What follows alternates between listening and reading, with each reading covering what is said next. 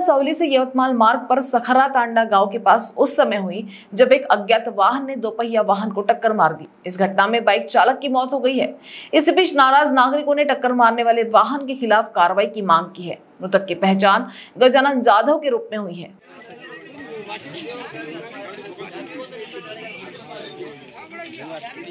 BKP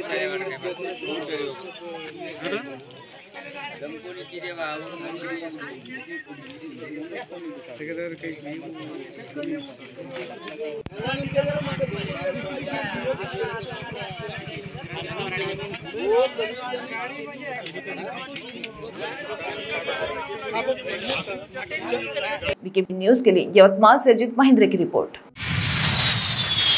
अपने सपनों की उड़ान भरने की इच्छा तो हर किसी की होती है।